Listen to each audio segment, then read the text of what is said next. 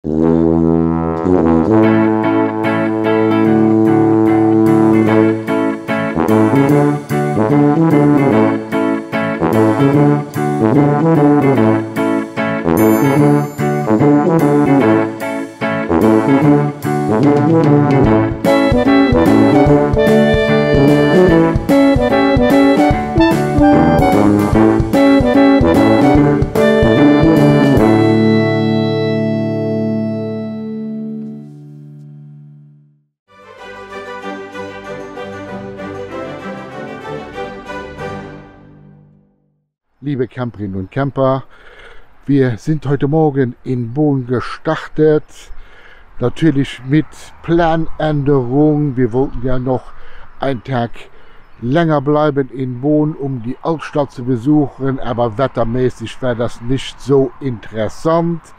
Wir werden dann Bohn besuchen auf dem Rückweg. Der, der Anfahrtweg derselbe ist wie der Rückweg. Also ist das damit kein Thema. Clermont-Ferrand sollten wir dann anfahren, aber das ist ein sehr komischer Stellplatz. Besser gesagt, das ist nur ein Parkplatz ohne Ver- und Entzug, soweit ich im Bilde bin. Also total uninteressant. Und darum haben wir dann entschieden, weiterzufahren nach Milo. Das sind dann 520 Kilometer zu fahren an einem Tag. Alles ist Autobahn, es ist Sonntag. Also besser kann es fast nicht gehen. Im Moment stehen wir hier an der R75 und haben ungefähr noch so 200 Kilometer vor uns. Also auf geht's für den Rest zu fahren. Ich weiß, ich habe immer gesagt, 300 Kilometer pro Tag ist mein äußerstes Limit. Man fährt ja in Ferien, man ist ja nicht auf der Flucht. Aber ich sehe das im Moment so, es ist Sonntag, Autobahn ist frei und dann kann man schon etwas Vollgas geben. Und der Stellplatz in Milo ist da bedeutend besser als der in Clermont-Ferrand. 520 Kilometer später haben wir den Stellplatz von Milo dann erreicht. Es war so gegen 15 Uhr nachmittags und er hatte noch einige Plätze frei. Wer jetzt etwas später kommt, muss damit rechnen, dass der Platz besetzt ist. Wie man sehen kann, liegt der Stellplatz zwischen den Bergen, etwas entfernt von der Hauptstraße und daher ist er relativ ruhig, auch nachts.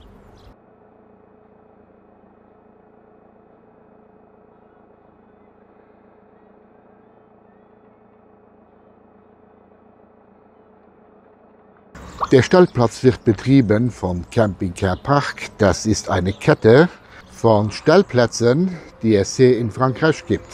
Dazu muss man eine Mitgliedskarte besitzen, die kann man dann hier kaufen. Diese Karte wird aufgeladen, so wie eine Kreditkarte und dann beim Hereinfahren wird die einfach nur an den Schalter gehalten und schon geht die Schranke auf.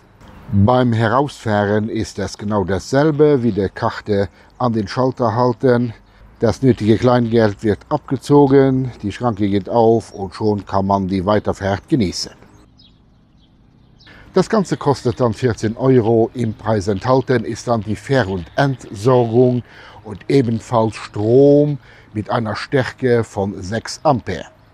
Die Altstadt ist ungefähr so 350 Meter vom Stellplatz entfernt und genau die wollen wir uns jetzt ansehen.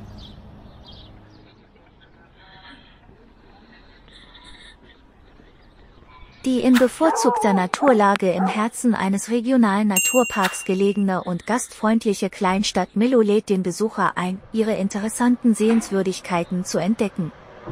Die Stadtmitte ist circa 500 Meter vom Stellplatz entfernt. Der 42 Meter hohe Belfried besteht aus einem eckigen Turm aus dem 12. Jahrhundert und befindet sich in der Altstadt von Milo. Ein zweiter Turm ist achteckig und stammt aus dem 17. Jahrhundert. Er ragt ebenfalls über den mittelalterlichen Ort und bietet von seiner Spitze aus einen schönen Panoramablick über die Dächer dieser Stadt. Der Besuch des historischen Zentrums geht weiter mit den malerischen Gassen mit den kleinen Geschäften, dem Platz des Marschalls Foch mit seinem Brunnen und seinen Unterständen,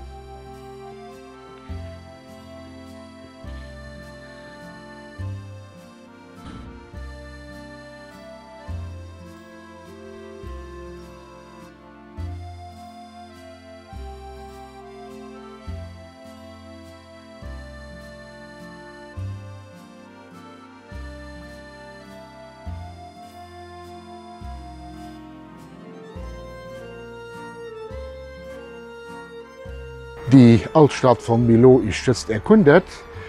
Wir machen uns zurück zum Wohnmobilstellplatz und werden dann die Tarn entdecken. Tarn ist der Fluss, der entlang von Milo läuft.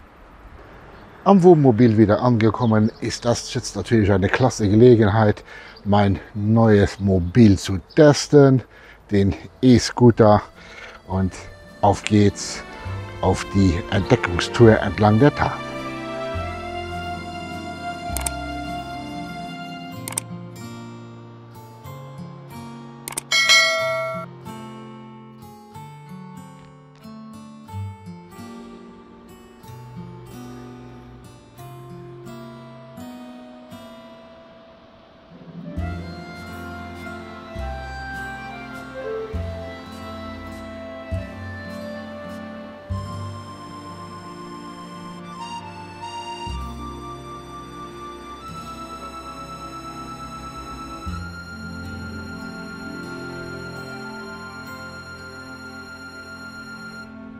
Ebenfalls ist der Viadukt von Milo, ein Reisehighlight, das man nicht verpassen sollte.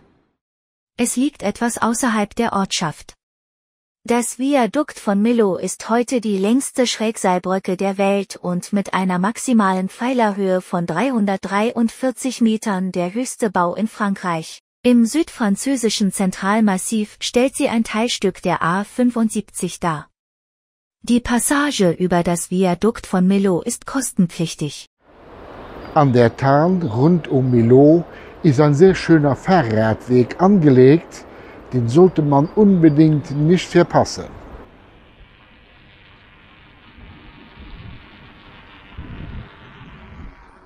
So schnell kann das Wetter mal wechseln.